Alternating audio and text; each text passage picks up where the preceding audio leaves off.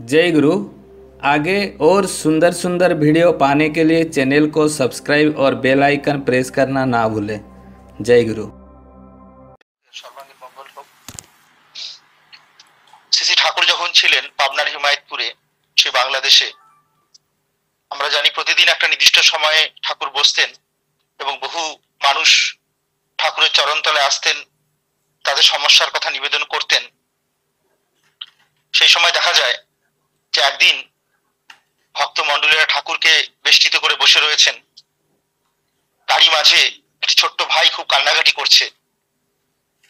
ঠাকুরের যে পার্শ্বদরা ঠাকুরকে বেষ্টিত করে বসে থাকতেন, যাদের মাধ্যমে ঠাকুরের শ্রীচরণে বিভিন্ন মানুষের সমস্যার কথা নিবেদন হতো, তাদের মধ্যে একজনকে শ্রী ঠাকুর ইঙ্গিত করলেন যে, ওই ছোট্ট ভাইটি ওখানে বসে কান্নাকাটি করছে কেন? ওই পরিসরের মধ্যে বসে।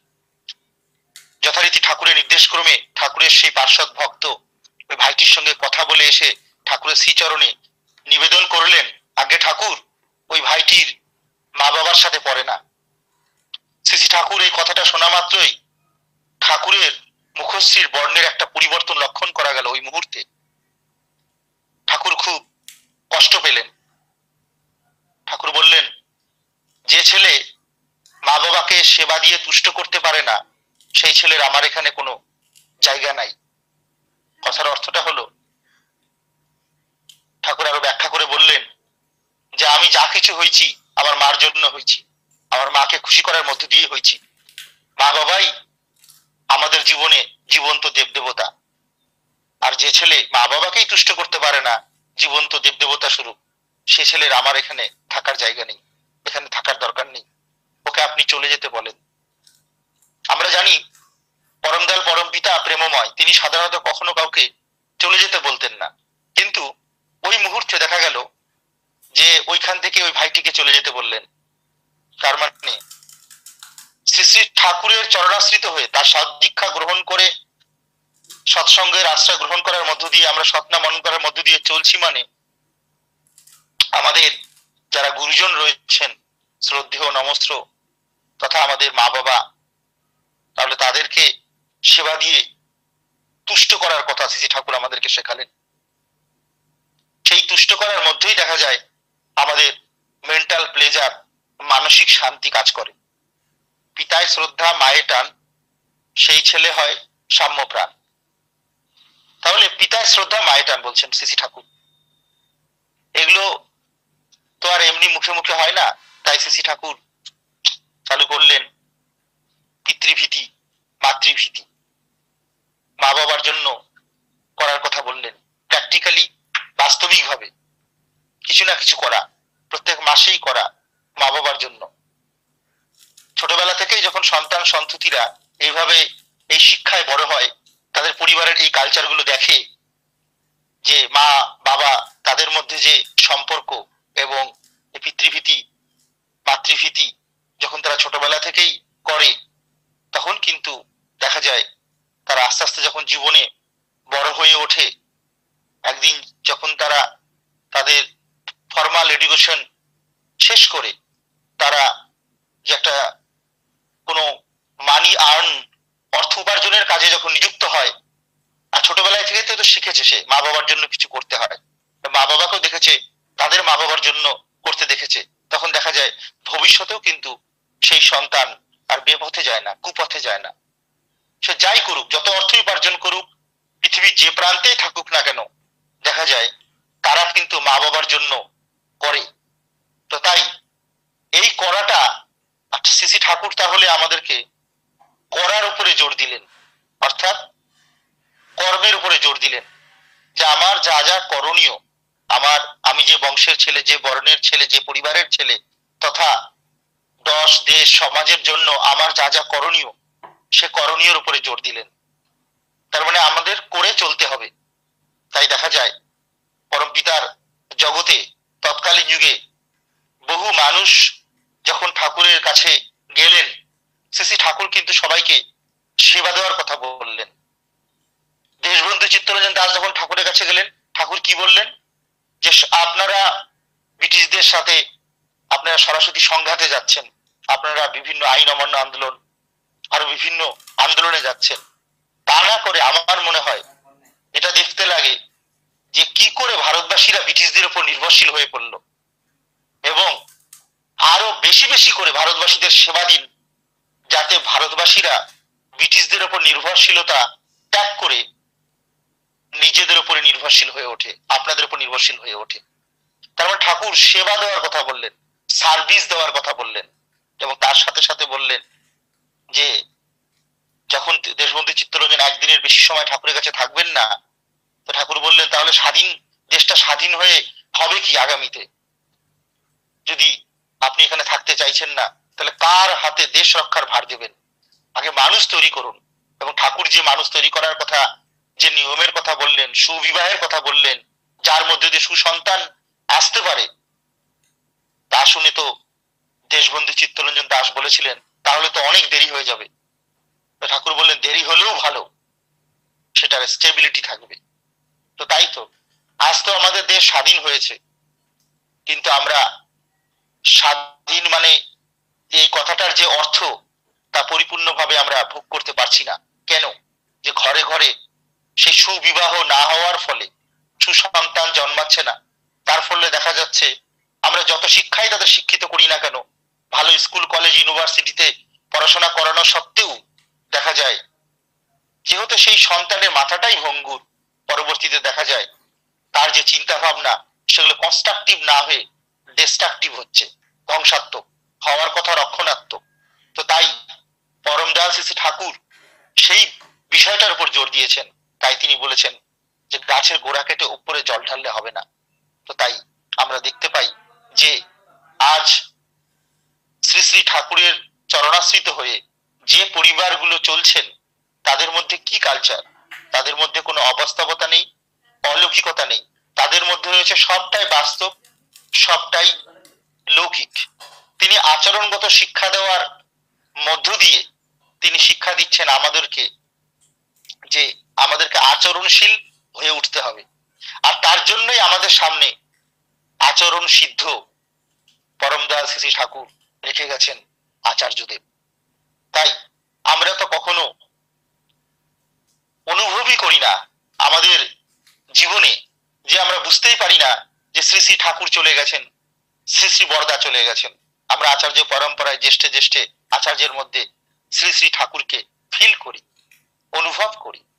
তো তাই আজ ঘরে ঘরে তিনি চালিয়ে দিচ্ছেন আমাদের সেই কথা। আমরা যদি বৈদিক যুগের কথা বলি, আমরা যদি সেই আর্য কৃষ্টির কালচার বলি, সেই দশবিধ সংস্কার, তো সেই সংস্কারকে হয়তো আমরা ভুলতে বসেছিলাম। আমরা আমাদের পুঁথিগত বিদ্যার দ্বারা, জ্ঞান অর্জন করার দ্বারা, আমরা হয়তো সেটাকে মানছিলাম না। আমাদের অজ্ঞতা বশত, অজ্ঞানতা বশত শ্রী শ্রী ঠাকুর সেটাই কিন্তু আমাদেরকে পুনরায় জাগ্রত করে দিলেন। সেই দশবিধ সংস্কার মেনে চলার কথা বললেন। তো তাই আমরা এই চলনাটার মধ্যে চলে আমরা দেখতে পাচ্ছি যে শ্রী শ্রী ঠাকুরের সেই কথা যে চলন ছাড়া চরণ পূজা নিছক জানিস বন্ধা পূজা তাহলে চলন ছাড়া চরণ পূজা করলে হয় বন্ধা পূজা তীর্থস্থান ধর্ম প্রতিষ্ঠানের পৃথিবীতে অভাব নেই। তাই শ্রী ঠাকুর কি বললেন? এটা তো আমরা আগে শুনেছি কথাটা। কিন্তু পরমদাল শ্রী ঠাকুরকে ধরে জানলাম অন্য কথা। তিনি বলছেন, জীবে প্রিয়কে বিতরণ করেন যেই জন, সেই জন সে বিচে ঈশ্বর। তাহলে প্রত্যেকটা জীবের মধ্যে তিনি প্রিয়কে বিতরণ করার কথা বলছেন পরম দয়াল শ্রী শ্রী ঠাকুর। কারণ আমি যদি বুঝে থাকি প্রিয় পরমকে, যে তাকে নিয়ে চললে তার অনুশাসন, তার আদেশ, নির্দেশ, নির্দেশাবলী জীবনে মেনে চললে আমি নিজে সংশোধিত হই। আমার নিজের যা কিছু ভুল চলনা রয়েছে, সেগুলো সঠিক চলনায় পরিণত হচ্ছে। আর যা কিছু পরম পিতার জগতে, সব আমার জন্য, আমার সংশোধন করার জন্য। যখন আমরা বুঝছি, তখন তিনি বলছেন যে, জীবেকে প্রিয় তো আমার যিনি প্রিয় পরম, তাকে বিতরণ করার কথা বলছেন। একমাত্র তাকে বিতরণ করা হলেই তার সেবা করা হয়। অর্থাৎ এই যে সদ্গুরুর আমি যে দীক্ষা পেয়েছি তার মানে কি? এখানে তো এমন কিছু কিম্ভাত কিম্বুত কিমাকার কিছু নেই। তার মানে এখানে আমার, তিনি বলছেন যে আমার অস্তিত্ব রক্ষার জন্য, আমার বিদ্যমান থাকার জন্য, আমার যা যা করণীয় এবং সেই করণীয়গুলো সচেতন হওয়া আর সঠিক সময় সঠিক ডিসিশন নেওয়া, সিদ্ধান্ত নেওয়া, অর্থাৎ জীবনে বেঁচে থাকার জন্য প্রত্যেকটা মানুষকেই বিভিন্ন ধরনের কর্মের সঙ্গে যুক্ত থাকতে হয়। আর সেই প্রত্যেকটা কর্মের সাথেই প্রত্যেকটা কর্মের আমরা দেখি একটা ইন্টারলিক অন্তর্নিহিত সম্পর্ক রয়েছে। আর সেই সম্পর্কটা তখনই মধুময় হয়ে ওঠে, তখনই জীবনে সমতা থাকে ব্যালেন্স থাকে, যখন আমরা তার আদেশ, নির্দেশ, তার অনুশাসন, আশীর্বাদ মাথায় নিয়ে চলি, তখন দেখা যায় আমাদের জীবনে কিন্তু একটা সমতা আসে। তখন আমরা কিন্তু ইমব্যালেন্স বা অসমতায় পরিপূর্ণ হই না। তাই এইভাবে চলাটা হচ্ছে চড়ুইবেতি চড়ুইবতি এটা সারা জীবন ধরে চলা। আর এই চলাটার মধ্যে আমরা আছি বলেই কিন্তু আমরা তার দয়ায় ভালো আছি। আমরা দেখেছি, এরকম বহু মানুষকে দেখেছি, বহু মানুষের সঙ্গে মিশে দেখেছি, বহু মানুষের পরিবারে গিয়ে দেখেছি খোঁজ খবর নিয়ে যে কোথাও যেন একটা অভাব বা গ্যাপ সৃষ্টি আছে সে পরিবারের সদস্যগুলির মধ্যে। আজ কিন্তু মানুষের নাম, যশ, অর্থ, প্রতিপত্তি, প্রাচুর্যের অভাব নেই। অভাব হলো সুখ, শান্তি, আনন্দের অভাব। কারণ কোথাও যেন তাদের মধ্যে একটা সদস্য, পরিবারের সদস্যদের মধ্যে যেন একটা পরিপূরণ হচ্ছে না। প্রত্যেকে প্রত্যেকের কাছে কিছু একটা এক্সপেক্ট করে, আশা করে। যখনই সেই আশাটা পরিপূরণ হয় না, স্বাভাবিক তো, আমরা তো মানুষ। আমরা যখন কারোর জন্য কিছু করি, তখন আমরা প্রত্যাশা রাখি, যতই আমরা বলি না কেন যে আমরা যা কিছু কর্ম করি সেটা নিঃস্বার্থ নিষ্কাম ভাবে করা উচিত, ফলাকাঙ্ক্ষা বর্জন করে, সেটা আমরা পারি না, কারণ আমরা তো মানুষ। তাই আমরা যখন আমাদের পরিবারের সদস্যর জন্যও করি, তার কাছ থেকে আশা করি সে আমার জন্য এটা করবে। অথবা সমাজের কারোর জন্য কিছু করলে তার কাছেও আমরা আশা করি সে আমার জন্য কিছু করবে। যখন আমরা সেটা পাই না, তখনই দেখা যায় আমাদের মধ্যে বিভিন্ন সমস্যা সৃষ্টি হয়। আইসিসি ঠাকুর বলছেন চেয়েও না, সব অবস্থায় রাজি থাকো, দুঃখ তোমার কি করবে? চাওয়াটা না পাওয়াই দুঃখ। অর্থাৎ আমি জন্মেছি করার জন্য, আমাকে করে যেতে হবে। আমার কারও কাছে কোনো প্রত্যাশা নেই। আমার যা যা করণীয় সেটা আমাকে হান্ড্রেড পার্সেন্ট করতে হবে। তাহলে দেখা যায়, নিজে আনন্দে থাকা যায়। ছাড়রমেন ভবের আশা অজপা নামে করর নেশা। কেন ভবের আশা ছাড়তে বলছেন সিসি ঠাকুর? আজকে শুরুতেই পরম পূজ্যবাদ আচার্য দেব শ্রী দাদার লেখা যে গান, সাথে তো যাবে না কিছুই গানটা করা হচ্ছিল। সত্যি তো, কিছু নিয়ে আসেনি, কিছু নিয়ে যাব না। তার দয়ায় কত কিছু পেয়েছি। তোমার দয়ায় লবেছি জনম, সকলই পেয়েছি আমি। ঠাকুরের দয়ায় আমি কত কিছু পেয়েছি।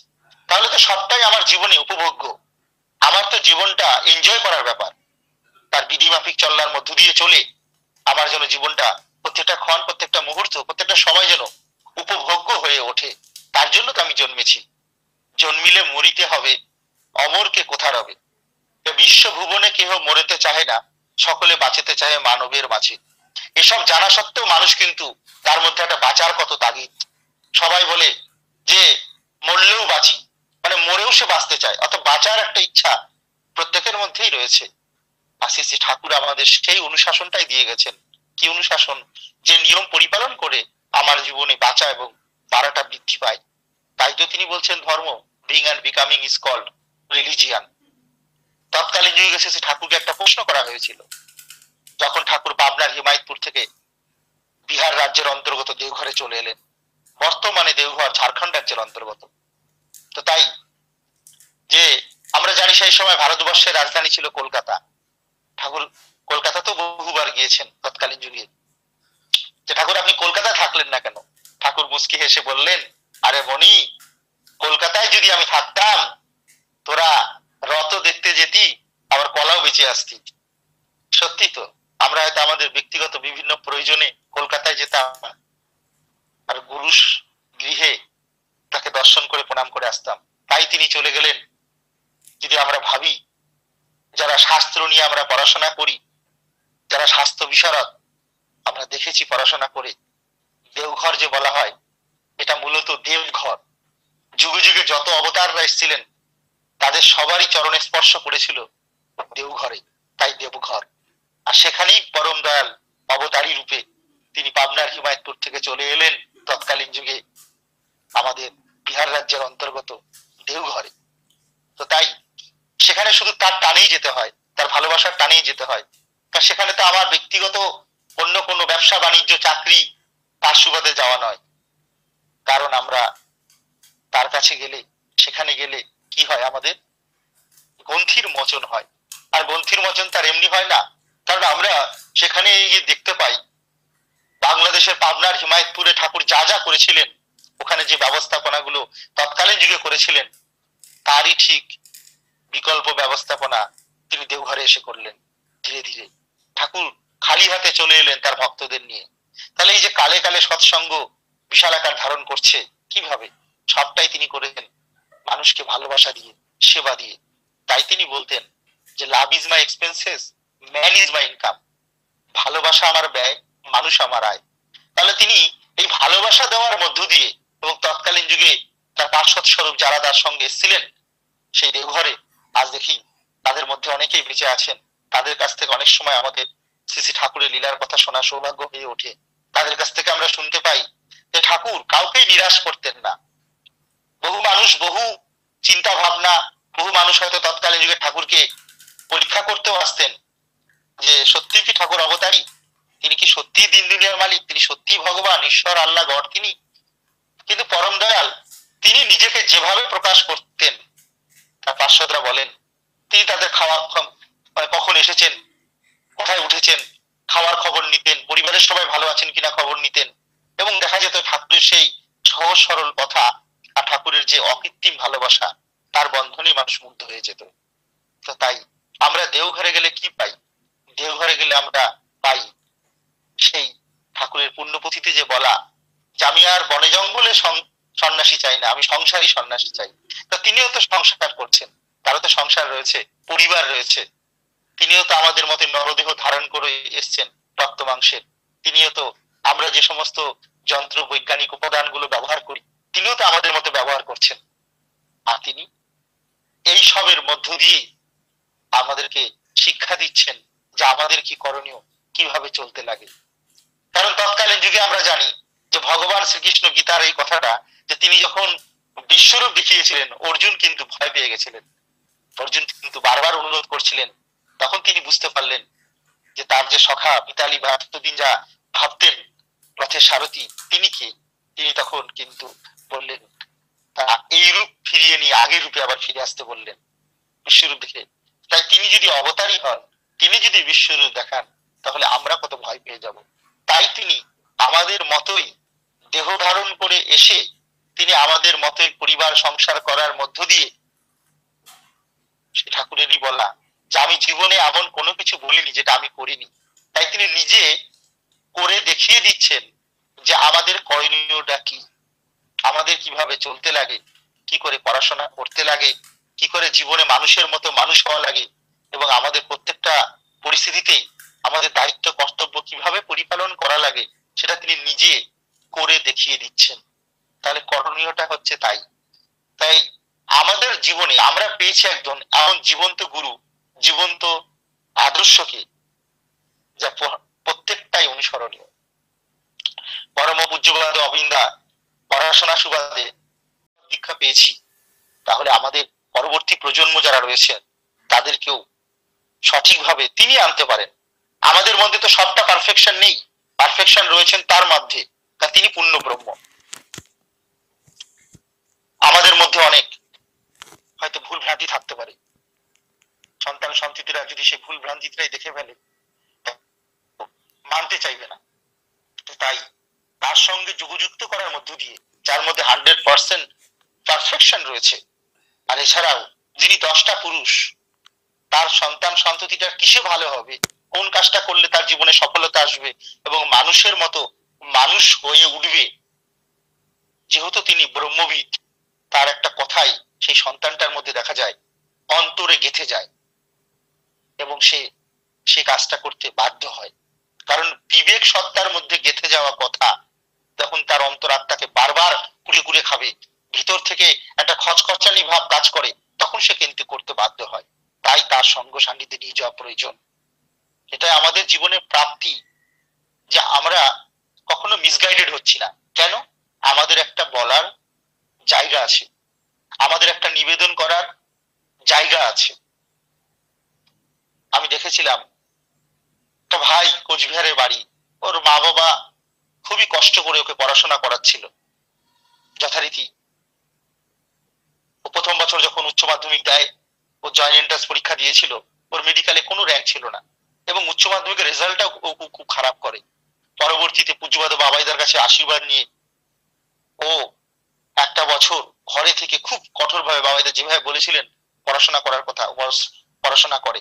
এবং দেখা যায় দ্বিতীয় বছর ও যখন জয়েন্ট এন্ট্রান্স পরীক্ষা দেয়, ও পশ্চিমবঙ্গে মেডিকেলে এক র্যাঙ্ক করে। এখানে অবাস্তবতা কিছু নেই, অলৌকিকতা কিছু নেই। তিনি বলে দিয়েছিলেন, যেভাবে ওকে পড়াশোনা করতে একদম একটা বছর সেভাবেই পড়াশোনা করেছিল।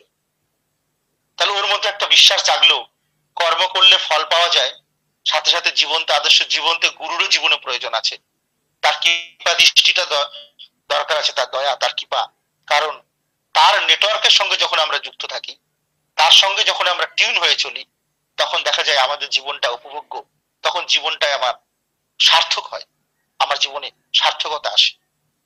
এরকম বহু মানুষের আমরা জীবন জানি, দেখেছি, একটা সময় কীভাবে শেষ হয়ে যাচ্ছিল, তাদেরকে যখন তার চরণ তোলে নিয়ে এলাম সদীক্ষা গ্রহণ করানো হলো, তার সঙ্গে যুক্ত করে দেওয়া হলো, তারা জীবনের পথ খুঁজে পেল।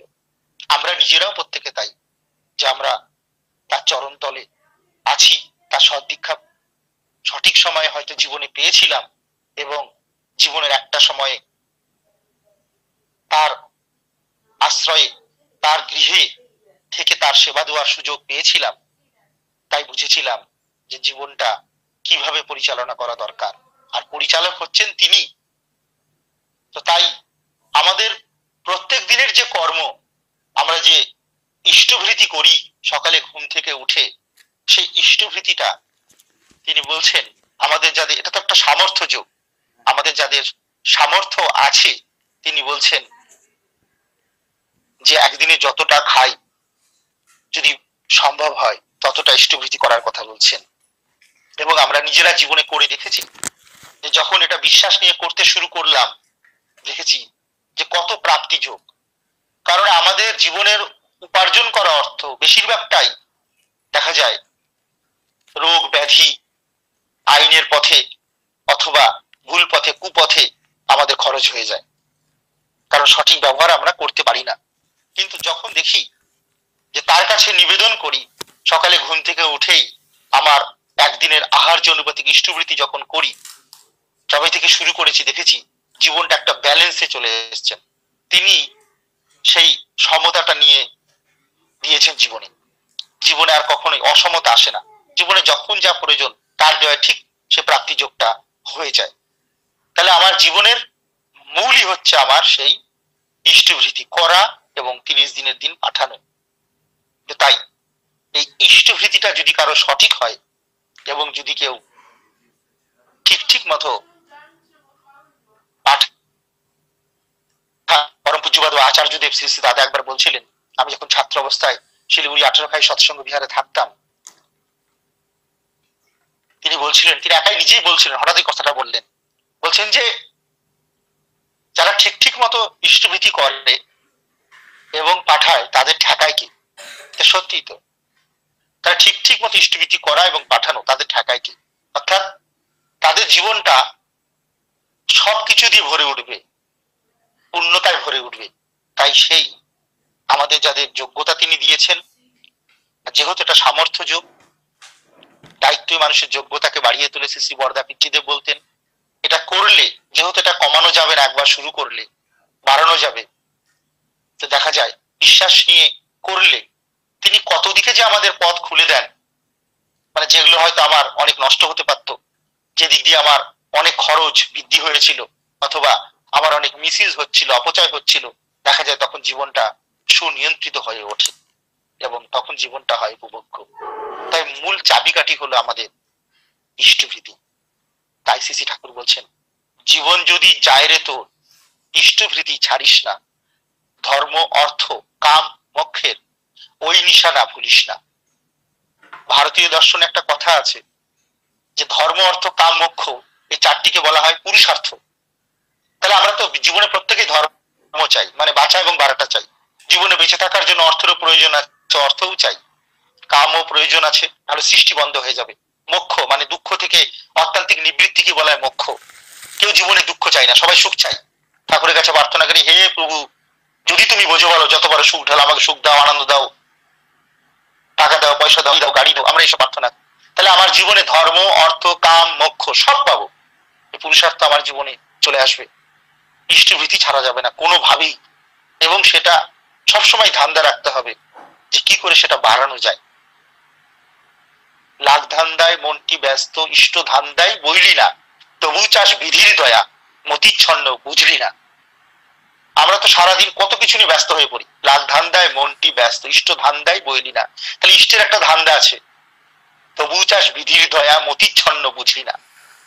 আমরা প্রভুর কাছে অনেক কিছু চাই, প্রভুর দয়া চাই, কিন্তু মতিচ্ছন্ন বুঝলি না। তিনি কি চাইছেন? তিনি চাইছেন এই পরিস্থিতিতেও আচার্যদেবের আশীর্বাদ সাড়ে তিন কোটি দীক্ষা, এই পরিস্থিতিতেও আচার্যদেবের আশীর্বাদে ভারতবর্ষ তথা বহির ভারতে বহু জায়গায় সৎসঙ্গ কেন্দ্র, সৎসঙ্গ বিহার প্রতিষ্ঠা হচ্ছে, নির্মাণ কার্য চলছে। এই কাজের সঙ্গে আমরা যারা যুক্ত আছি, অর্থ, বাক, শ্রম দিয়ে যে পরিবারগুলো যুক্ত আছে, আমরা দেখেছি ঠাকুরের দয়ায়। অনেকেরই হয়তো করোনা হয়েছিল, তারা খুব তাড়াতাড়ি সুস্থ হয়ে গেছেন। সেই সংখ্যাটা কিঞ্চিত মাত্র যাদের করোনা হয়েছিল, আমাদের জানাশোনা মানুষ, ভালোবাসার মানুষগুলি। তাই আমরাই পারি আমাদের দায়িত্ব, কর্তব্য অনেক বেশি। আমরা যারা শ্রী ঠাকুরের চরণাশ্রিত, কারণ তিনি কিন্তু বলেছেন আমাদেরকে, দৃষ্টান্ত দিয়ে কোনো লাভ নেই সমাজে। Example is better than precept দৃষ্টান্ত দেওয়ার থেকে তিনি আমাদেরকে বলেছেন, দৃষ্টান্ত হতে। আমাদেরকে দৃষ্টান্ত হওয়া মানে নিজের প্রত্যেকটা কর্ম ঠিক মতো করা, করে সমাজের মধ্যে এমন একজন মানুষের মতো মানুষ হওয়া, যাতে অন্যরাও আমাদের দিকে অনুসরণ করে আমাদের এই পথটাকে যে পথে আমরা চলছি, ঠাকুরকে মাথায় নিয়ে। সবাই কিন্তু সমাজে বাঁচতে চায়, বেড়ে উঠতে চায়, ভালো থাকতে চায়। তো তাই তিনি নিয়মের যে অধীনে, বিধির বিধান ছাড়া তিনি যে কিছু করতে পারেন না, আমরা এরকম বহু ঘটনা জানি। আবার দেখেছি যে তিনি এই যে করোনা পরিস্থিতি এই প্যান্ডেমিক এর মধ্যে যা যা স্বাস্থ্যবিধি সংক্রান্ত নিয়ম এই প্যান্ডেমিকের মধ্যেও আমরা মালদা মহানন্দা পল্লী সৎসঙ্গ কেন্দ্র মন্দিরের কাজে দেওঘরে গেলাম, কয়েকবার দেখলাম, তিনি কিন্তু সবটাই হান্ড্রেড পার্সেন্ট নিয়ম পরিপালন করছেন। পরম পূজ্যবাদ, বাবাই দাদাকে আমরা দেখলাম, তিনি মাস্ক পরে আছেন, একশো মিটার দূরে দাঁড়িয়ে আছেন। একশো মিটার দূর থেকে কারও মাধ্যমে আমাদের নিবেদন করতে হচ্ছে। তার মানে ওই যে বলছিলাম, নররূপী নারায়ণ, তাকেও, তিনিও সবকিছুর অধীনে, তাকেও সবকিছু পরিপালন করতে হয়। তাহলে আমাদের গুরু হচ্ছেন বাস্তব গুরু। তিনি নিজে করে দেখিয়ে দিচ্ছেন যে কীভাবে এই পরিস্থিতিতেও আমাদের চলা প্রয়োজন। আমাদের মধ্যে কোনো অলৌকিকতাও নেই অবগতাও নেই। তিনি যখন যেমন দেওঘর থেকে আমাদের সৎসঙ্গ ওয়েবসাইট তথা আমাদের যে সৎসঙ্গের ফেসবুক পেজ আছে, ইউটিউব চ্যানেল আছে, সেখান থেকে যে নির্দেশাবলী আসবে, সেইভাবে আমরা চলবো। আমরা দেখেছিলাম মাঝখানে একটু বেগতিক চলনার জন্য অনেক প্রতিষ্ঠান খুলে গেছিল। কত মানুষ করোনা আক্রান্ত হয়ে দেহত্যাগ করল। কিন্তু সৎসঙ্গ কিন্তু আজ অব্দি খোলেনি। হান্ড্রেড পার্সেন্ট নিয়মটা মেনটেন করে চলছেন। তাহলে আমাদের অনুসরণীয় হচ্ছেন তিনি। তাই শ্রী শ্রী ঠাকুর যে আচার্য পরম্পরায় জ্যেষ্ঠে জ্যেষ্ঠে লীলা করে চলেছেন, তাকে যে আমাদের সামনে রেখে গেছেন, তাই আমাদের আলাদা করে আর কোথাও কারও চরণতলে মাথা দেওয়ারও প্রয়োজন নেই। আমাদের আর অন্য কোথাও কিছু নিবেদন করারও দরকার নেই। কারণ আমাদের নিবেদন করার একটা জায়গা আছে, তাই আমরা জীবনে কখনোই মিসগাইডেড হই না। ভুল পথেও যাই না, ভুল পথে চালিতও হই না। তাই আজ এই অনলাইনে সৎসঙ্গ করার সার্থকতা তখনই লাভ করবে, যখন আমরা ঠাকুর চেয়েছেন আমাদের মাধ্যমেই বিপ্লব আনতে। ঠাকুর যে চেয়েছেন, আমরা যেন সেরকম মানুষ হয়ে উঠি। তিনি দেহত্যাগ করার আগে যে আক্ষেপ করলেন, সারা জীবনে আমি একটা মনের মতো মানুষ পেলাম না, তা যেন আর না হয়। কারণ আমরা যে যুগে জন্মেছি ওয়ার্ল্ড ওয়াইড ওয়েবসাইট টেকনোলজির যুগে, এখন কিন্তু আমাদের নিজেদের করণীয়টা আরও সঠিকভাবে করা এবং কম সময়ে বেশি কাজ করা, বিজ্ঞানের অবদানগুলোকে সঠিকভাবে ব্যবহার করা আর আচার্যদেবের যে আশীর্বাদ, এই পরিপালন করে তাকে মক্ষতা দিয়ে চলার মধ্য দিয়ে কিন্তু আমাদের জীবনে সব ধরনের ঘাটতির পূরণ হয় এবং আমাদের জীবনের পূর্ণতা আসে। তাই তো তিনি বলছেন, ইষ্ট লাগে কর্ম করা, সেই তো হলো পুণ্য ভরা। আজ এই সৎসঙ্গে আমার অনেক গুরুজনরাও যুক্ত হয়েছেন। আমি প্রত্যেককেই আমার প্রণাম জানাই, প্রত্যেককে শ্রী শ্রী ঠাকুরের রাতে চরণে প্রার্থনা করি। আপনাদের প্রতি প্রত্যেকের সবার সর্বাঙ্গীন মঙ্গল হোক। প্রত্যেকে ভালো থাকবেন। জয় গুরু।